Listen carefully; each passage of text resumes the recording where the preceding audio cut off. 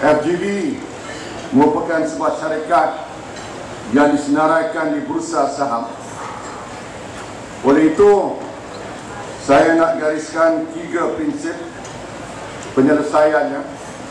Pertama, dia mesti mematuhi undang-undang syarikat. Kedua, dia mesti selaras dengan prinsip urus takdir yang baik ataupun good governance. Ketiga, proses yang nak dilakukan sehingga penentuan keputusan muktamad mestilah melalui proses yang adil ataupun fair proses.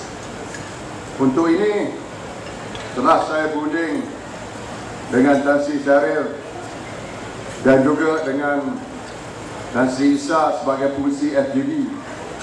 Maka kita melantik Datuk Seri Idris Jala untuk menjalankan siasatan yang rapi atas apa yang telah berlaku berpandu pada tiga prinsip yang saya telah gariskan.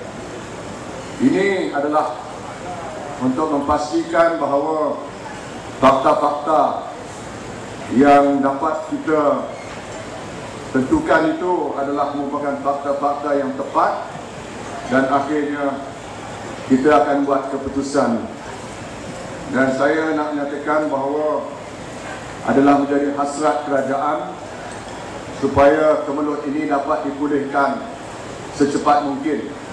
Saya nak diselesaikan bulan Ramadan ini juga.